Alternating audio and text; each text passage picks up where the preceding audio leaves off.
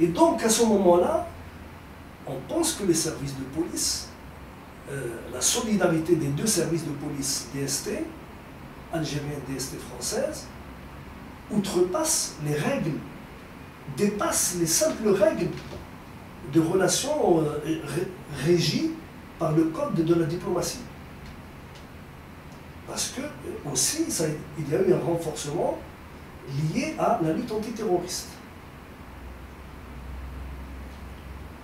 Or, Charles Pasqua, je l'ai dit tout à l'heure, quitte le clan gaulliste, va dans le clan baladurien. Mhm. C'est à ce moment-là que les grands problèmes se posent. Ils se posent de la manière suivante. Le gaullisme, euh, le gaullisme euh, n'est pas encore, n'a pas repris la, France en main. Parce que Chirac ne sera élu qu'en mai 1995. Mhm. Donc ceux qui représentent la droite, ceux qui représentent l'UPM, l'UMP, l'UMP, pardon, L'Union pour la militaire. C'était l'absus révélateur. Hmm. Ceux qui représentent officiellement et légalement l'UMP, c'est le courant baladurien sarkozien. C'est-à-dire une certaine nouvelle droite. C'est la nouvelle droite. Hmm. D'accord Or, cette nouvelle droite, quand euh, elle. Euh, elle arrive avec la crise de 1994 de détournement d'avion, elle est à la veille d'une élection présidentielle. Celle de 95 Celle de 95. Enfin, de deux élections en fait. Une élection algérienne, de, voilà, et une élection française. L'élection algérienne ne les concerne pas, je vais dire pourquoi. Hmm. Par contre, ils la suivent de très près. Hmm. C'est l'élection française qui leur pose un problème. Parce que Balladur veut être président, veut être candidat. Il est le chef, euh, le patron de euh, l'UMP. Mais il a devant lui le maire de Paris, qui est un personnage politique. Jacques Chirac. Jacques Chirac, qui incarne une certaine France. Et la chose qui se complique, c'est la suivante. Comment vont être les relations algéro-françaises au lendemain des élections de 1995 qui étaient, tu sais bien que les élections sont annoncées six mois avant. Mhm. C'est-à-dire, quand l'affaire de l'avion se passe, on sait qu'il y a une élection qui pointe à l'horizon en France. À moins de six mois. Moins de six mois. Mhm. Donc il y a l'agitation, il y a le, bruit de couloir, les, les tractations, etc. Et ces tractations font que et Omar Bongo le dit, on faisait antichambre chez moi pour que je finance les campagnes électorales. Mm-hmm. Ça veut dire quoi? Ça veut dire que si les baladuro sarkoziens faisaient antichambre chez Omar Bongo, les Chiraciens ne peuvent plus faire antichambre à Alger parce que le chef de l'État s'appelle Yemi Zarouane. Mhm. Et que Liamin Zarouane a écarté le courant des services. C'est-à-dire de créer ses hommes. Voilà comment j'ai pu comprendre aujourd'hui que c'était en fait une affaire franco-française et les Algériens l'ont compris très très vite. Et par conséquent, ils n'ont pas voulu euh, s'enfoncer dans cette histoire. Mais est-ce que ça ne justifie pas euh, euh, une certaine attitude euh, qu'on ne peut qualifier d'irresponsable de la part des Algériens dans la gestion de cette crise, dans la gestion de cette affaire de détournement de l'avion D'autant plus que, quelque part, le côté algérien, d'une façon ou d'une autre, primo, a facilité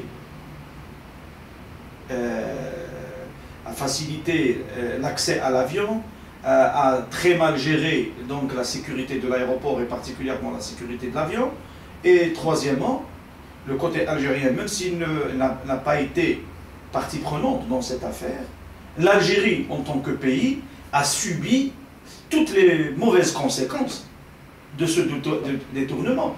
Souviens-tu que, est-ce que tu te souviens qu'à l'époque de Zawal, accélération du terrorisme, euh, isolement de l'Algérie, aussi bien sur le plan euh, international que sur le plan diplomatique, que sur le plan logistique et militaire, et de l'autre côté aussi, toutes les compagnies aériennes étrangères ont suivi, parce que la France de l'époque avait déclaré officiellement qu'elle ne remettrait plus les pieds à Alger, les autres compagnies étrangères ont complètement boycotté l'Algérie. Et ils ont, elles ont boycotté l'Algérie. Ça, tu le dis après le détournement d'avion. Moi, je te parle avant et jusqu'au détournement d'avion. Hmm. Après, c'est une autre affaire. D'accord? Jusqu'au détournement d'avion, ce qui était. Moi, ce qui m'intéresse, c'est de comprendre la logique du détournement.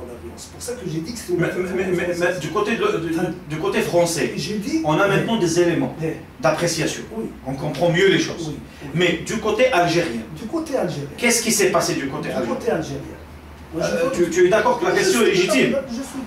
Moi, ce qui m'intéresse le plus en tant qu'Algérien, c'est plutôt le côté algérien. Je suis intéressé, je suis, je suis très attentif à ce que tu dis par rapport au côté français et cette guerre intestine, à l'intérieur même de la droite. Mais parce qu'elle a des incidences sur l'Algérie. Et c'est ce qui m'intéresse le plus, moi aussi.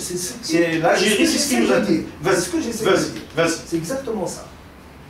La conclusion serait que finalement, l'affaire du détournement d'avion, les gens qui ont ourdi cette affaire de détournement d'avion, qui ont actionné une partie algérienne intéressée par une crise avec la France, parce que c'est une crise, mhm. momentanée, mais une crise c'est des gens qui ont compris que il n'y avait plus possibilité de financement des campagnes électorales comme Boumediene l'avait instauré. Avec euh, Boumediene, Chadli, euh, etc. Y compris avec, avec, euh, avec Mitterrand, la gauche. Bien sûr, bien sûr. Bien sûr, bien sûr. Donc il n'avait plus cette possibilité. Qu'est-ce qui reste comme autre possibilité?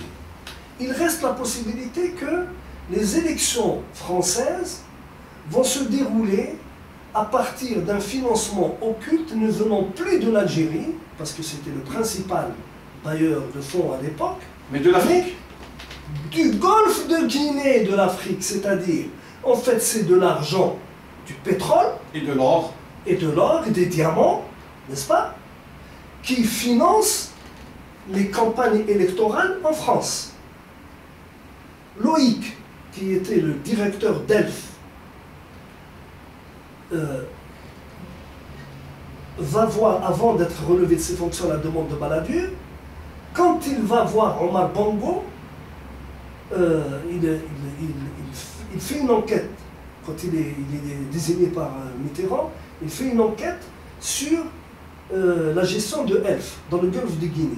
Mhm. Il fait un rapport qu'il remet, ça a été dit dans cette émission, il fait un rapport qu'il remet à Mitterrand. Et il dit à Mitterrand, qu'est-ce que je dois faire? Ça va rappeler l'affaire euh, du Pakistan. Il lui dit, est-ce que je laisse faire ou j'arrête j'arrête ces financements occultes? Et Loïc, que j'ai entendu dans l'émission, se fait dire par Mitterrand, laisse faire et tu dis à Omar Bongo de ne pas nous oublier. Ah, c'est-à-dire de ne pas oublier la, gauche. Bien sûr. Laisse faire, je dis oui de ne pas nous oublier. Ça veut dire que ça se faisait bien avant. Avec la gauche. Avec la gauche et avec la droite. Hum. Mais la gauche et la droite pendant très longtemps, dans la proximité immédiate de l'Algérie, et parce que le régime algérien est un régime dictatorial qui ne permettait pas la liberté d'expression. Et qui avait, besoin d'une couverture particulièrement française. Sahara, on, on le sait y compris la couverture Et que la désignation de beaucoup de présidents en Algérie, ainsi que de responsables à Paris. Voilà. Alors à ce moment-là, qu'est-ce qui se passe? Il se passe que la, source de financement algérienne est tarie. Et elle ne peut plus reprendre avec Zarouel. C'est hors de question. Elle s'est arrêtée avec la fin du pouvoir de Bakher. Elle ne peut plus reprendre ça veut dire que ça affaiblit la partie, la partie gaulliste, au profit de la partie baladurienne et euh, sarkozienne. C'est ça ce que ça veut dire. Donc, on peut supputer, on peut supputer en disant, il est possible que cette affaire qui euh, est partie de l'ambassade de France, Mhm. si on accorde crédit à ce que dit Melha, D'autant plus que l'ambassadeur lui-même ainsi qu'un autre staff devait monter dans cet avion et partir. sûr. euh, Il a changé d'avis. euh, Bien sûr. Oui. il est possible que ce coup fumeux ait été fait par les services de la DGSE française, qui relève du ministère de l'Ense- de- de- des Affaires étrangères, qui relève du président de la République. Mais je crois savoir que le président de la République, ayant été Mitterrand, Mitterrand s'en Soit il foutait n'était pas royalement. informé, Il s'en foutait royalement. soit il n'était pas informé, C'était soit les il s'en derniers foutait. mois, c'était les derniers mois, il était malade. Mhm. C'était les derniers mois de sa Et législature. peut-être qu'il voulait également euh, enliser encore plus les, les- la droite, l'impliquer encore plus dans des C'est pour affaires. ça que j'ai dit qu'il leur a passé une, comme une merde, une véritable bombe explosive. Mhm. Donc lui, il a laissé faire. Mhm. Il est possible que cette affaire a été dirigée contre le clan Baladur-Sarkozy. Maintenant, maintenant les conséquences, hein, le pouvoir algérien de l'époque, on avait dit, je ne sais pas, tu me corriges, hein, moi je n'ai pas été dans l'avion, euh, on avait dit que Zerwal était conscient qu'il y avait une complicité euh, algéro-française dans cette histoire de détournement. Et on avait même dit soit il a téléphoné à l'aéroport, soit il s'est même déplacé.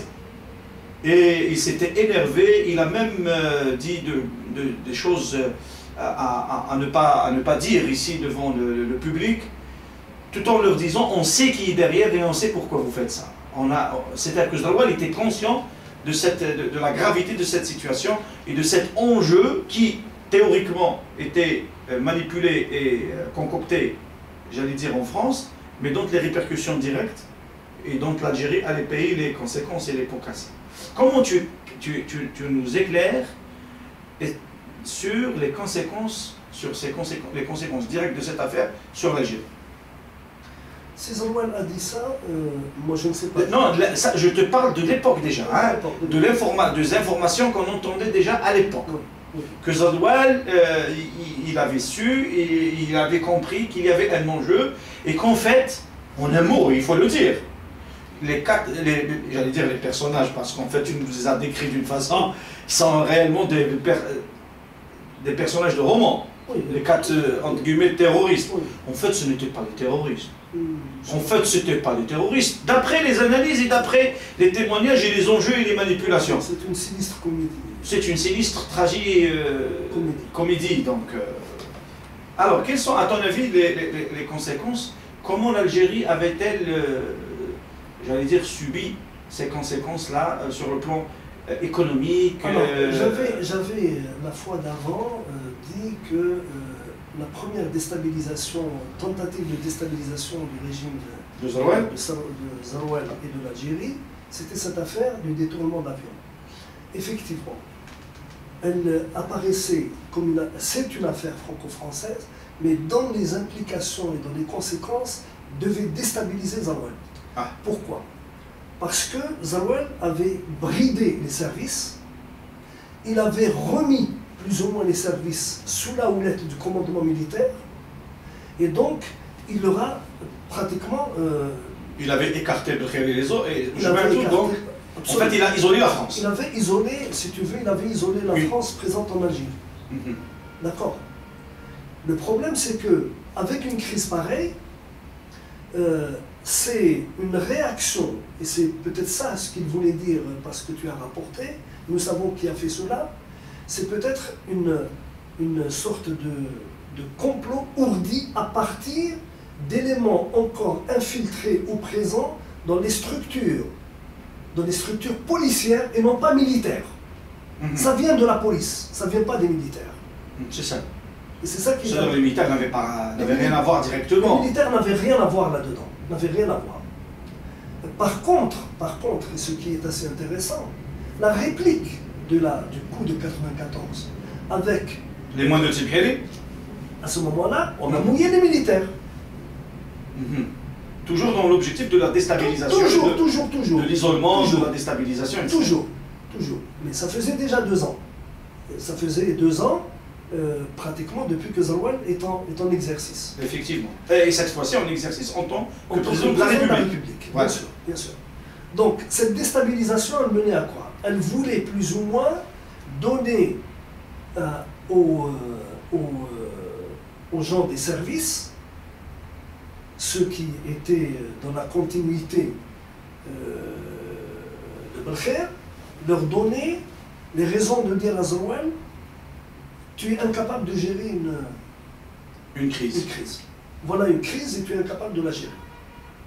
Et ils font de la surenchère. Oui, tu laisses les Français décider à leur guise, d'autant plus que leurs amis français de l'autre côté, euh, à travers les déclarations et les médias, etc., euh, ont fait grandir et grossir l'affaire en disant Baladur menace Zarouane. Je me souviens. Dans la presse. Oui, je me souviens.